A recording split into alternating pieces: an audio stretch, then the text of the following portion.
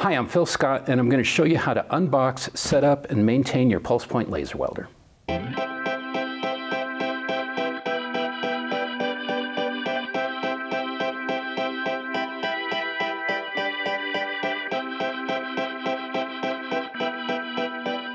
So we want to make sure that we remove all the staples so when we open it up we don't get sliced by one of the staples by accident. Next we're going to open it up and we'll start removing some of the smaller items. This is the argon hose or air hose.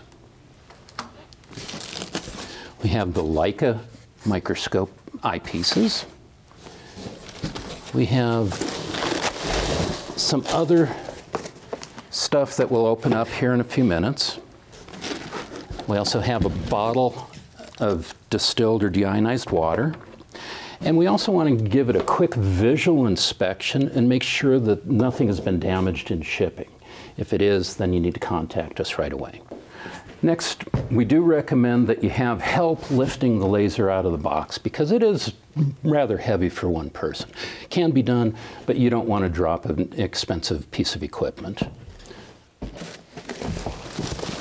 Make sure you have a good grip on it. Lift it straight up.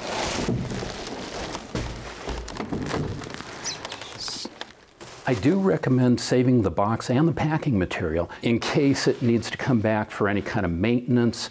You want to have that so it can travel safely. So next we're going to remove the shrink wrap from the machine.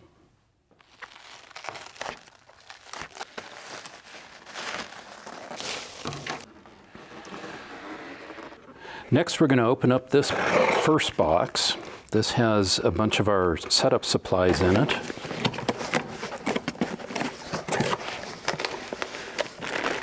We have our power cord. We have our foot pedal. We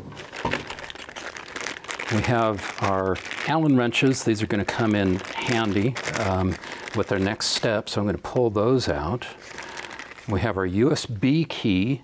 Uh, that'll go on the front of the machine, and that keeps track of everything that's going on in the machine. We have our interlock block. The interlock block goes on the back over here, but we'll put that on after we put the foot pedal on and the power cord. Um, we have a spare protective lens, so we do need to keep track of that. It also comes with keys I do recommend you put you keep one with the machine and you put one in the safe. Uh, we've got some test plates and then we've also got argon hookups or, or compressed air hookups. And then last we have our uh, syringe for filling the machine.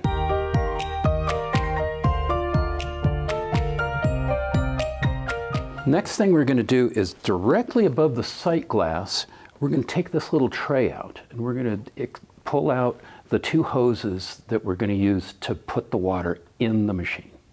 So we're going to, we're going to take these two screws out and I recommend putting those in the tray up on top. And that's just so we don't lose them.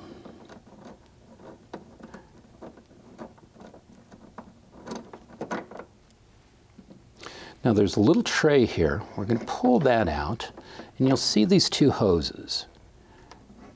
You can pull those out. Sometimes the hose gets kinked right here and so you want to check it and make sure it's not kinked.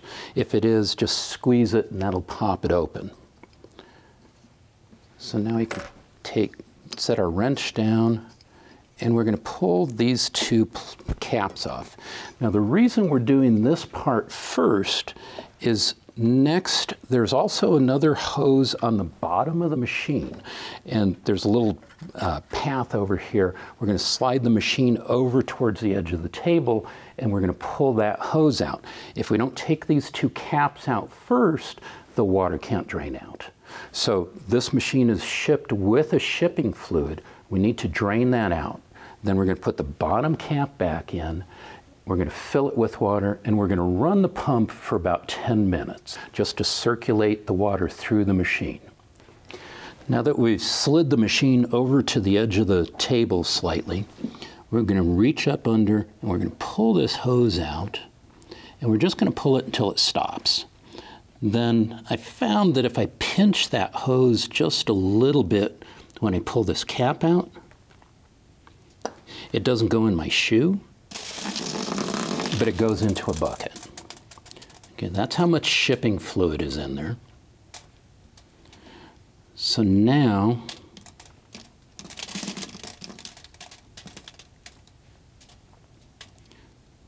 now we're going to put the stopper back in, push it back over a little bit. So now we're going to fill the syringe with DI water and then we're going to inject it into the machine. So now we fill the syringe. And it doesn't matter which of these hoses we put put the water into. We can put it in either one. One allows the air that's within the machine to come out while we're putting the water in. If, if it was closed up, we couldn't get the water in. You can see the water levels starting to go up.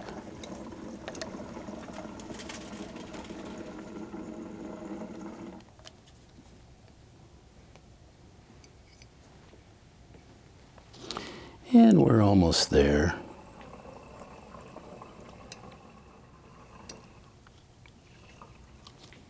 Okay, so we're at the max right now. The next thing we're going to do is install our interlock, which bypasses any kind of safety switches you might have on a door.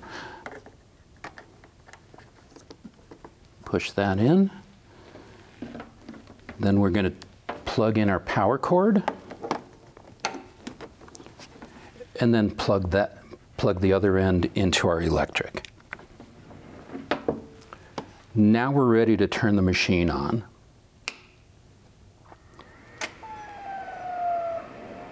So we can see that the cooling fans are already running. I spun the machine around and now I have access to the uh, touch screen and I want to hit checkup Checkup brings up the next screen and now I can turn on the water pump because I want the water to cycle through the machine. So I'll hit on. So you can hear the water cycling through the machine and that's flushing that shipping fluid out. Um, and we're going to run that for about 10 minutes. Now while that's running, I can install the eyepieces on the machine. Okay, next we're going to pull the caps off the microscope and we're going to install the eyepieces. I want to make sure that the the two lines are zeroed on the eyepieces and I'd like to hold them up to the light and see which eyepiece has the crosshairs in it. Since I'm right eye dominant, I want the crosshairs in my right eye this one doesn't have crosshairs, so it'll go on the left side. I'll double check, make sure this one has the crosshairs, and it does. Align these two lines up. Make sure it drops all the way down and lock it in place. While we were installing the eyepieces, the machine's been running for about 10 minutes, and now we can turn the pump off we can spin the machine back around. So I swung the machine back around and we're going to drain it and we're going to refill it one more time. So we're going to pull that hose back out.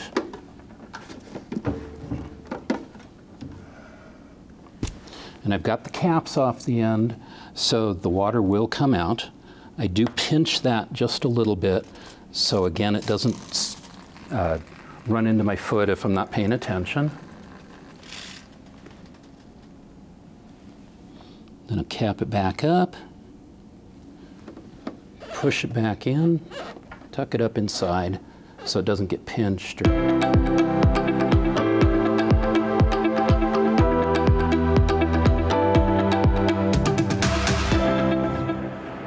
Okay, now that we've drained it a second time and filled it back up, we can start buttoning it back up. Going to put the caps back in, the hoses. We're to tuck the tray with the hoses back up inside.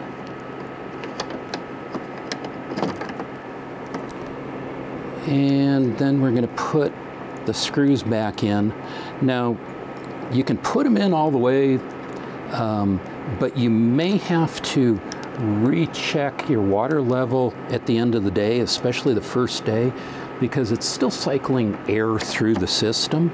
So, um, you know, the first day you may have to take this back out and top, top the machine back off.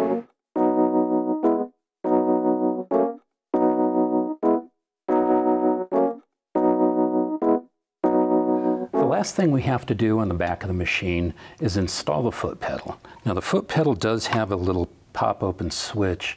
Uh, you can lock it closed, but the foot pedal gets installed over by the uh, interlock block and there's only one place left to plug anything in, and that's where the foot pedal goes. And you screw these down.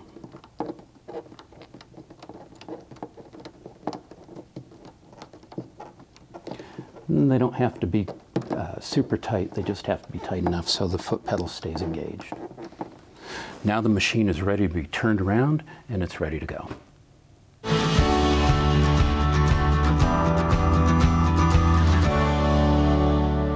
Okay, so let's talk about a little bit of routine maintenance. So the first thing you want to do is minimum once a year, you want to change the DI water. Uh, that's going to be the same procedure that we just showed you during the setup. So we're going to turn the machine around, drain it, fill it. Uh, should do it once a year. I like to err on the side of caution, so I do it every six months. The water is inexpensive, so it doesn't, it's not that big of a deal. We also want to make sure that the machine is powered off. The yellow triangle, which says this machine is hot and ready to fire, is off, so we're going to turn the key off. We're going to let it power down. That's going to put the, the machine in a safe mode, and we're also going to pull the key out. That way it can't be turned on by accident. So to give you the best uh, operating uh, operation of the machine, you want to keep everything clean. You want to keep your eyepieces clean so you can see through them. There's also a sight glass up inside the machine and you really have to keep that clean. Um, you should clean it a minimum once a month. I like to keep it clean and clean it weekly. Um, I have a routine maintenance, so I keep that uh, sight glass clean. Uh, every Monday, I take it out, wipe it down, keep it clean. That way the light can get through it properly. Um, that's super easy to do. Take your protective lens out, and there's a little screw at about the 4 o'clock position, and then back towards the back at about the 10 o'clock position. And you unscrew those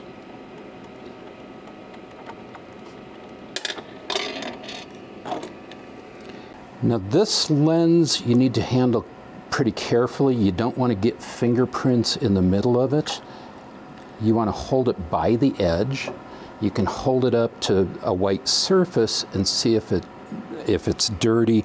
Should be cleaned weekly. You can see bits of metal that may have splashed on it. There can also be smoke that's on the on the lens. Use a high quality lens cleaning cloth and rubbing alcohol um, to clean that. Uh, you don't want to use any kind of solvents because that could possibly damage it. Um, but you want to keep your fingers off the center of that lens because the oil from your skin can actually burn onto the lens.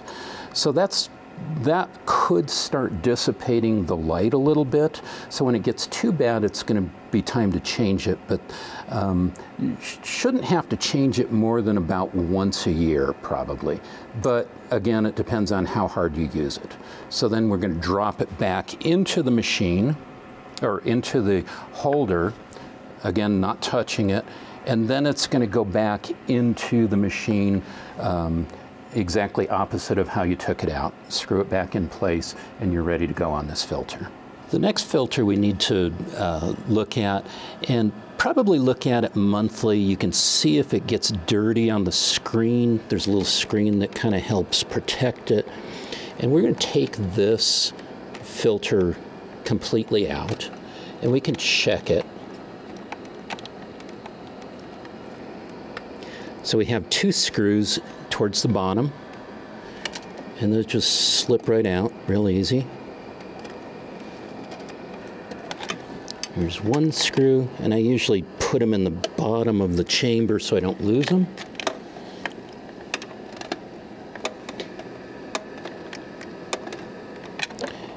And this just slips down and out.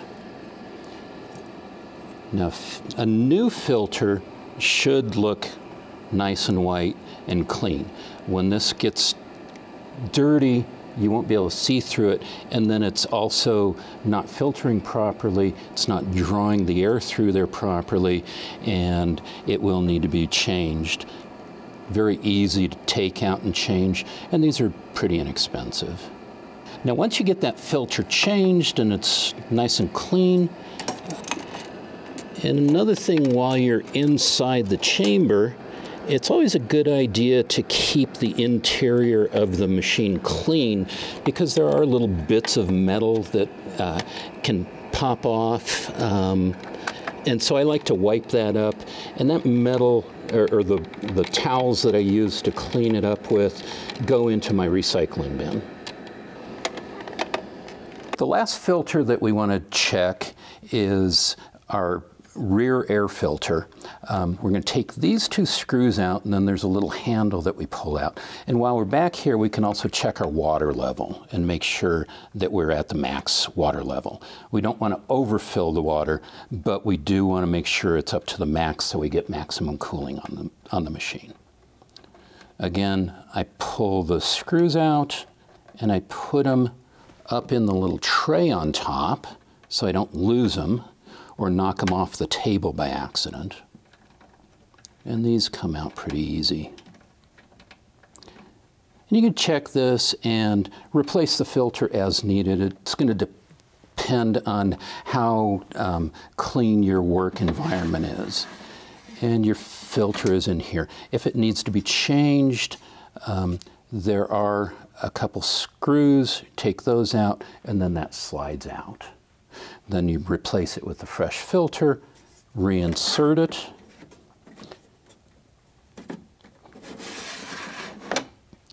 and put your screws back in. Thanks for watching. If you have any other questions on maintenance or setup, please give us a call.